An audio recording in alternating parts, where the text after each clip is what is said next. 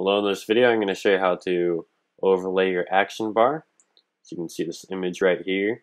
The action bar is overlaid over top of the background or the activity, but the activity still extends through that. So yes, it would be cut off, but we can add padding so that nothing will be cut off when it covers up like that.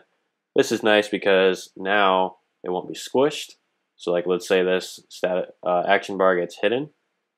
Uh, every time you have to hide it or unhide it, the entire activity has to get readjusted for the new size, which is demanding on your processor and it's going to look funny when the user is running it.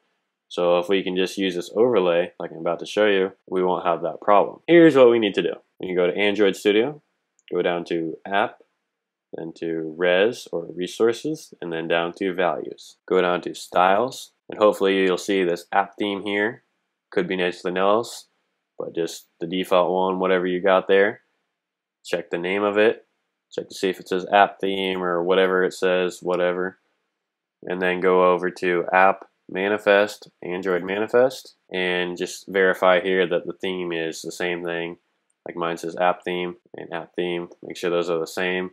That way that your manifest is telling your application to build with the theme that you're specifying here. But if you just specified a random theme, then you know it's not going to know all that work we just did. So basically what I've done here is made it so I can support any version. You will only need, you know, one, but just so people supporting like 15 and up and people supporting, uh, I think it is 10 and up, just so they can see. But you'll use Android action bar style, or you'll just remove it Android and have action bar style and you're going to have that as at style action bar theme. Notice they both say that. And then you'll create a new style down here called action bar theme. Add this part here where it says Android window action bar overlay and set that to true. If that doesn't work for you, you can also try Android window bar true. If that does not work for you either, try Android window action mode overlay.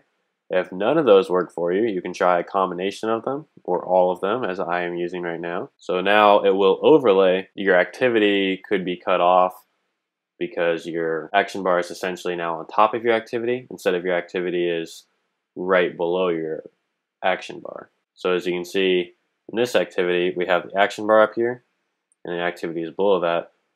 But with what we just did, the activity will now extend up in here, but you won't see it.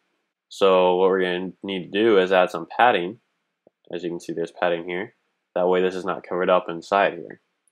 So to add that padding, we need to go to our drawable, I'm sorry, when to go to our layout, make sure in each one of these that we want the padding, we add Android padding top equals, I'm assuming that's attribute slash action bar size. So we'll take out the action bar size and insert it in here.